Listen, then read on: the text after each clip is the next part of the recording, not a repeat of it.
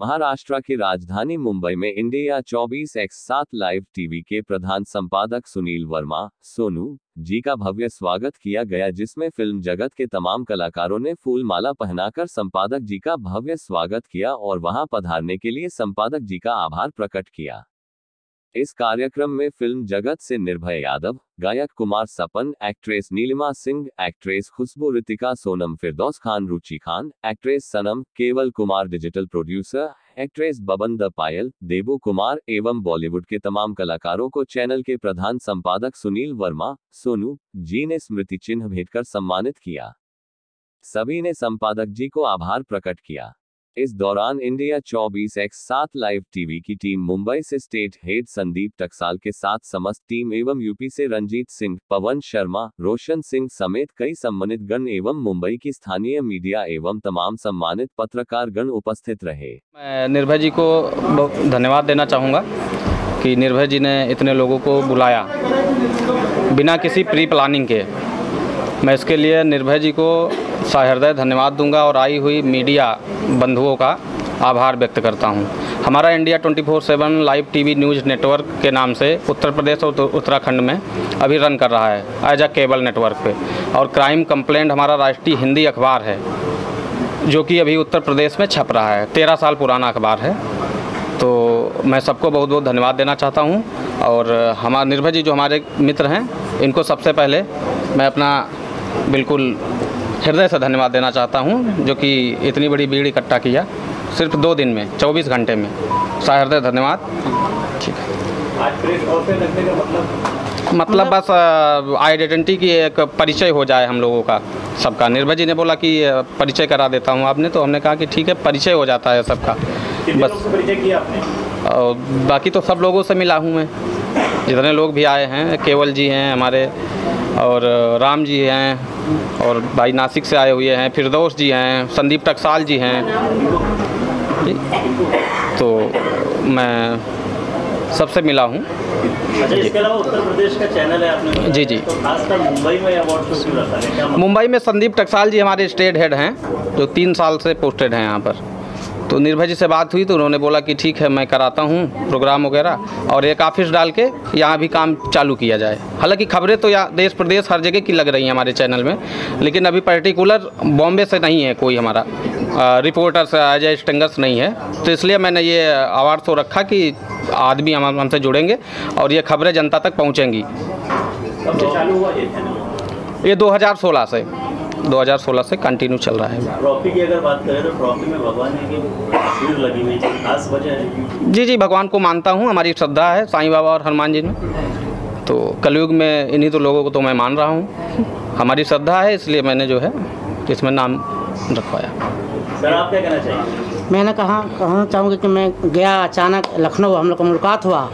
और सब बारे में हमको बताया। मैं भी सोचा कि बहुत अच्छा है और आ, मैं बारह दिन था लखनऊ में।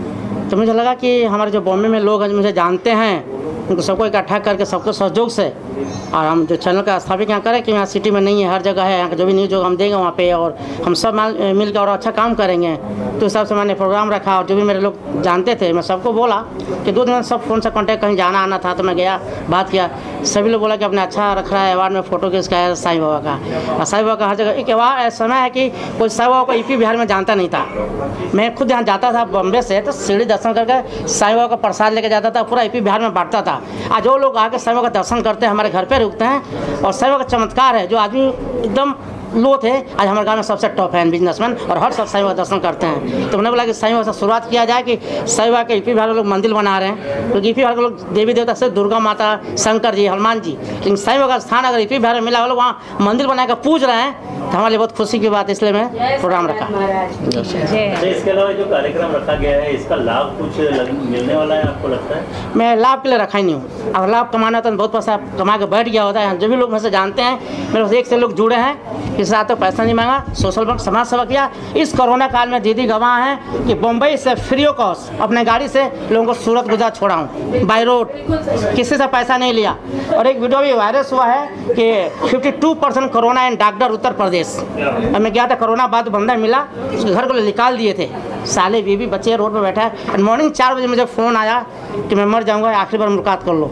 मैं गया चार बजे मॉर्निंग अपने गाड़ी में बिठाया एंड गोरखपुर एडमिट कराया। उसमें बोले, आवाज़ नहीं निकल रहा था, आज बंदा हंस खिल रहा है, वापस डॉक्टर दवा दे रहा है। वो मुझे अभी वीडियो बनाया था साथ में। तो कोरोना काल में जितने लोगों का हेल्प किया सब किया तो उन सबका, हमें आशीर्वाद मिला कि मैं उस लायक नहीं, लोग हमें इतना लायक समझ रहे हैं, प्यार दे रहे हैं और इससे बड़ा खुशी क्या हो सकता है। तो उसे खुशी में शामिल करने के लिए एक प्रोग्राम रखा गया कि सबको मालूम पड़े। सब लोग दूसरों का हेल्प करें, मर जाएँगे, कुछ लेकर नहीं जाएँगे।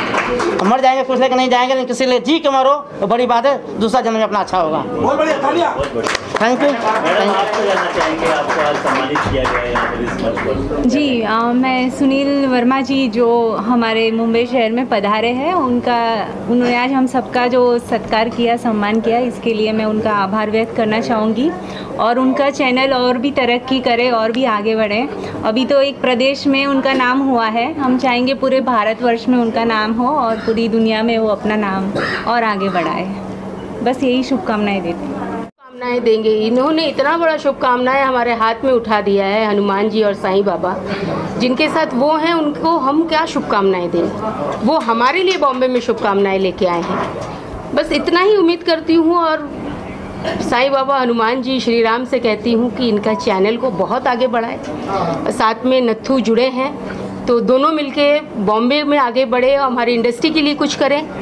हमारे इंडस्ट्री की न्यूज़ों को, सही वाले न्यूज़ को दिखाएँ, बनावटी न्यूज़ों को नहीं। तो इतना ही बस है, और शुभकामनाएँ तो सबने ही दिया है। सर आप क्या कहेंगे मेघना जी के बारे में? जी बिल्कुल। मेघना नहीं। जी जी नीलम। कोई बात नहीं कोई बात नहीं। जी नीलम जी ने नीलम जी ने कॉन्फ्रेंस में नहीं दिखोगे। जी जी नीलम जी ने जो है बधाई दी इसके लिए सहृदय धन्यवाद। नीलम जी को सहृदय धन्यवाद। नीलम जी ने बधाई दी इनको। ठीक है।